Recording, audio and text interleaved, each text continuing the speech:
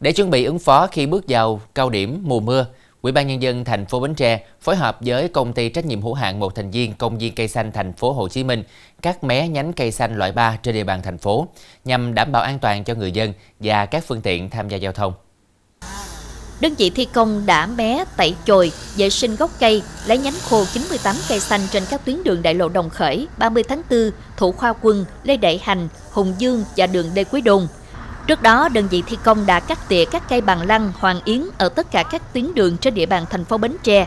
Đồng thời, Ủy ban nhân dân thành phố giao phòng giáo dục và đào tạo thành phố chỉ đạo các trường học ra soát kiểm tra các hệ thống cây xanh trong khuôn viên trường để có biện pháp cắt tỉa, hạn chế cây xanh ngã đổ, nhất là các cây lớn. Giao Ủy ban nhân dân các xã phường ra soát kiểm tra cây xanh thuộc địa phương, cây xanh của các hộ dân trồng để nhắc nhở người dân cắt tỉa, rong cành, tạo thông thoáng tán lá, Trường hợp không đủ điều kiện đảm bảo an toàn các tỉa thì báo về phòng quản lý đô thị thành phố để có biện pháp hỗ trợ. Việc triển khai các tỉa cây xanh trước mùa mưa bão trên địa bàn thành phố không chỉ đảm bảo an toàn tính mạng tài sản cho người dân, mà còn góp phần cải thiện cảnh quan để các tuyến phố thêm xanh, sạch đẹp.